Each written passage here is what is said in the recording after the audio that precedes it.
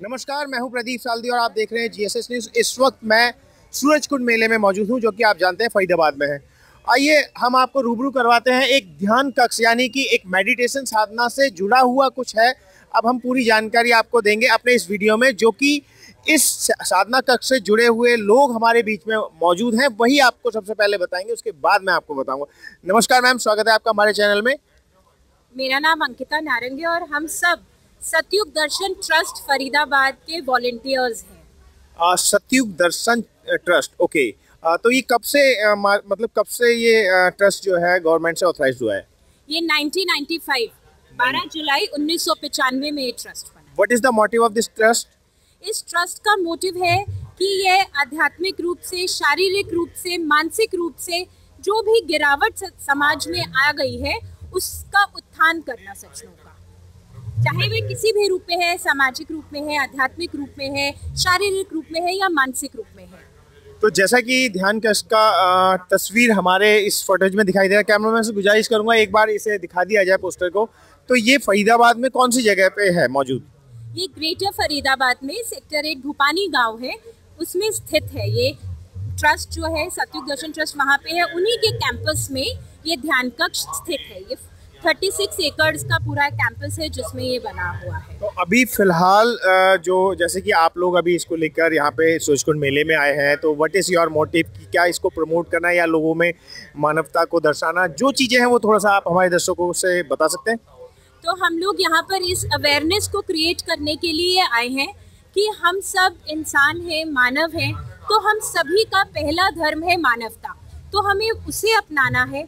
हम सभी के अंदर ईश्वर ने वो ईश्वरीय जो गुण है, एक इंसान में होने चाहिए। संतोष, धैर्य, सच्चाई, धर्म, समता, निष्काम, परोपकार तो इन गुणों से ईश्वर ने हमको भेजा है अंदर डालकर। पर ज़रूरत है हमें उन्हें पहचानने की उन गुणों को।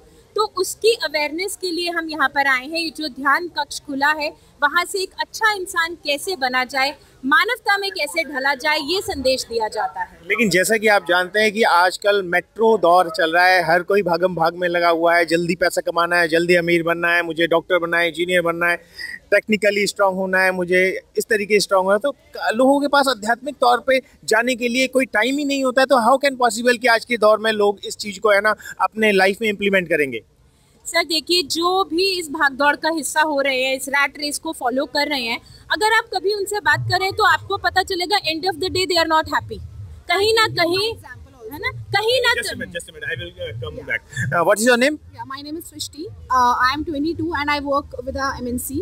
So so, मैं मंडे टू फ्राइडे अपनी जॉब करती हूँ I know at the back of mind कि मुझे at the end of the day I need my mental health to be the priority तो end of the day Saturday Sunday को I make sure कि मैं वहाँ पर जाऊँ मेरी भी लाइफ बहुत बिज़ी है मुझे स्ट्रेस होता है मैनेजर ये वो बहुत कुछ लाइफ में चल रहा होता है but still I make my time out I go to like at least twice in a week and you can still feel कि टाइम निकालना पड़ता है टाइम किसी के पास नहीं होता बट अपनी मेंटल हेल्थ के लिए टाइम निकालना कोई बड़ी बात नहीं है because at the end of the day पैसा वैसे सब एक वो होता है it will went away but what stays with you is your mental health your physical health and your spirit so are you confirm ki uh, ध्यान कक्ष giving you the peace and exactly. Monday uh, को मेरा office होता है usually I took off because मुझे पता है कि मुझे बैलेंस करना है अपने प्रोफेशनल लाइफ में भी और पर्सनल लाइफ में। अगर मैं ग्रो कर लूँ professionally I will earn lot of money but I know मैं खुश नहीं हूँ at the back of the day because I know कि मुझे दोनों में बैलेंस रखना है।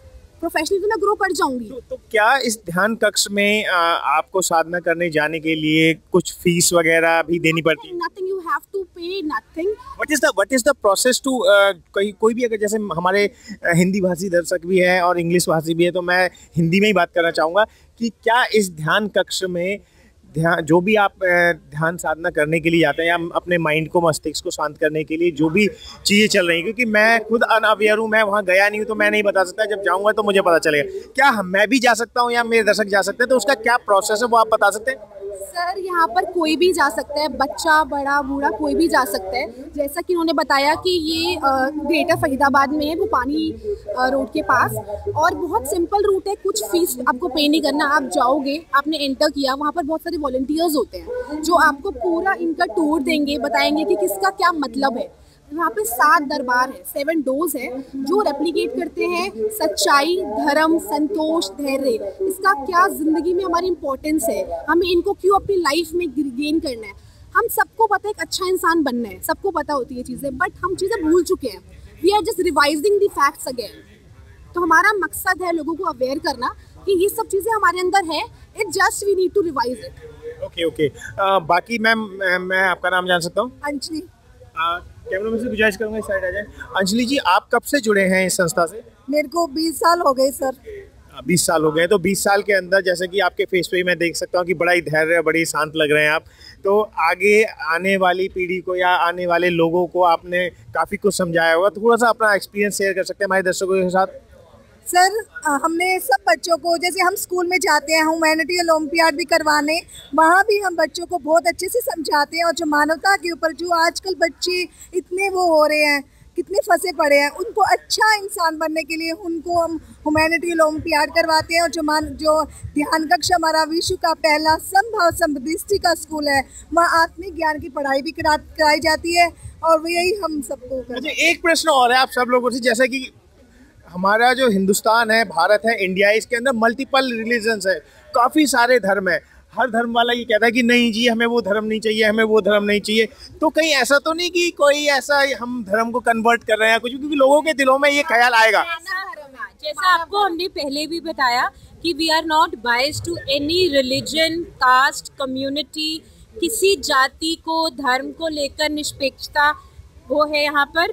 किसी तरीके का भी हम वो नहीं करते हैं कि आप इस धर्म को फॉलो कीजिए। हमारे लिए मानव धर्म ही सब मतलब सबसे सबसे बड़ी बात आपके कहने की है कि ध्यान कक्ष सिखाता है कि आप पहले मानव बनो बाकी ये बाद में।